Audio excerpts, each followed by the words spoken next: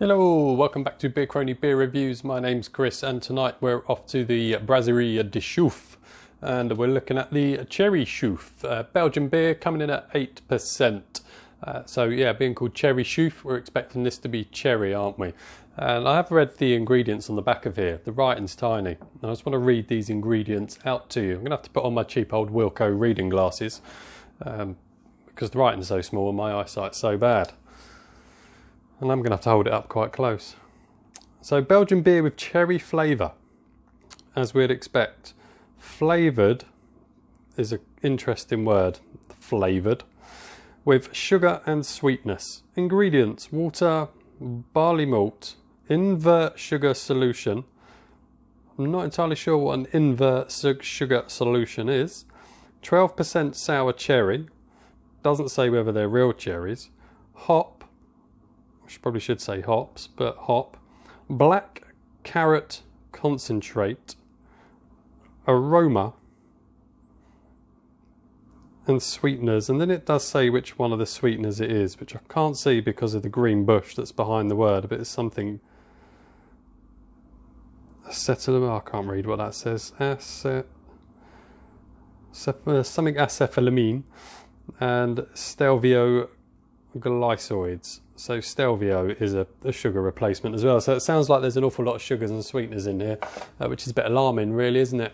For a, a, cherry, I'd like it to say that it's got real cherry flavour in it, as in real cherry juice. Even if it said real cherry concentrate, that would be good. Uh, so not a good start.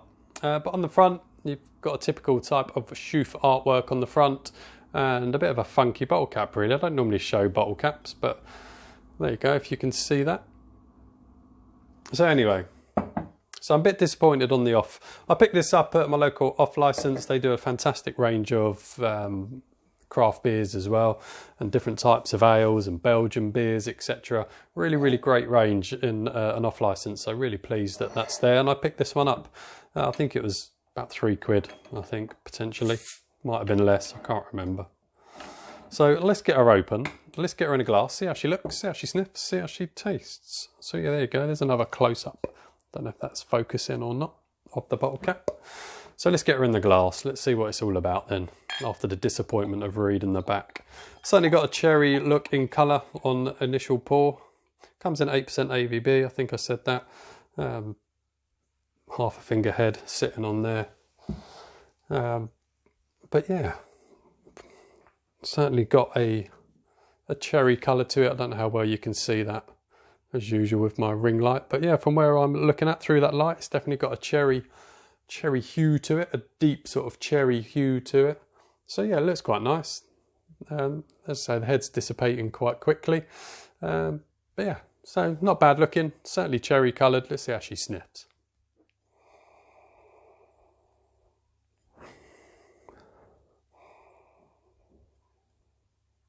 And it's definitely got a, a cherry aroma and there is a sweetness to it.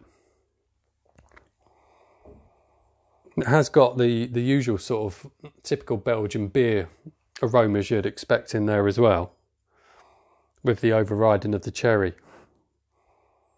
It's got a bit of spiciness to it, and the usual Belgian aromas, as I say. It's got that sort of candied banana sort of aroma to it with cherry, cherry and banana. Not sure if they're a good combination, but definitely a sweetness of cherry. I wanted a, real, a, a different type of cherry aroma. I'm already in my head. I think it's a what's the word I'm looking for?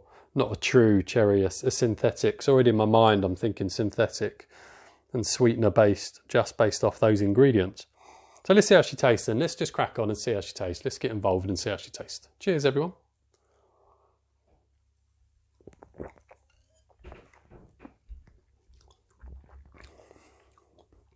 Oh, that is sweet. Oh, that is sweet.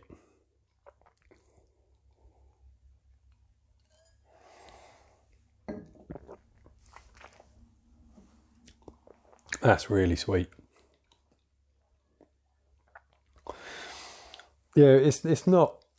Oh, such a shame. I wanted it to be. I wanted it to be good, and it is but it's not what I was expecting. Definitely got a, a real, the real cherry sweetness, but the cherry sweetness of sweets, it's like a sweet. It's not what I would call a proper cherry juice and cherry fruit. It's it's like eating sweets with a Belgian beer background to it. And it, it does work, but it is really, really sweet. It is very, very sweet. Um, and it is more like sweets. I'm trying to trying to tell you sweet that you'd liken it too.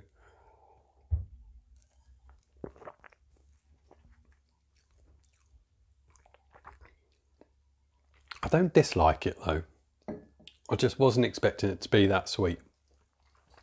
And it's it reminds me of uh, sweets that I used to have come in a packet, long packet called cherry drops.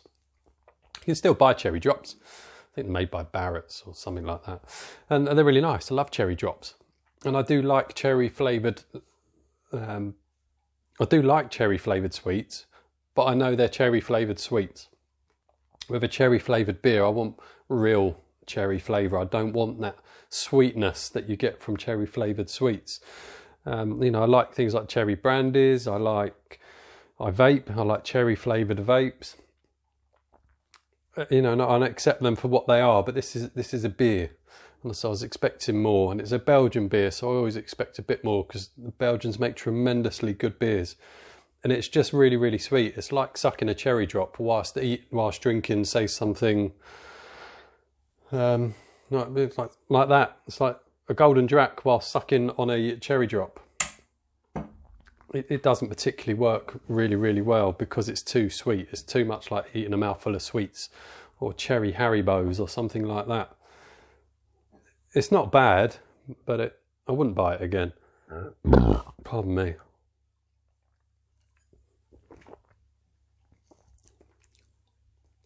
Yeah, is it sweets? It's like eating a, having a mouthful of cherry flavoured sweets, like cherry drops. Almost bordering on a bit medicinal type, like some sort of cherry cough medicine. And it's quite overpowering. It consumes all of that. And maybe it should, being that it's a cherry, but it's the wrong type of cherry. I didn't want it to taste like I've got a mouthful of cherry drops or a mouthful of Haribos, and that's what it is. Might suit some people. Some people absolutely love it. Uh, eight uh, percent. You certainly wouldn't want to session those. That's got that's got puke written all over it.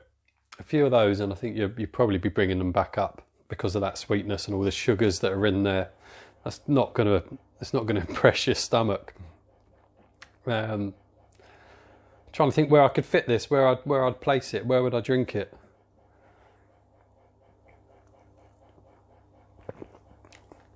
And I'm not entirely sure. I'm not entirely sure where that would go.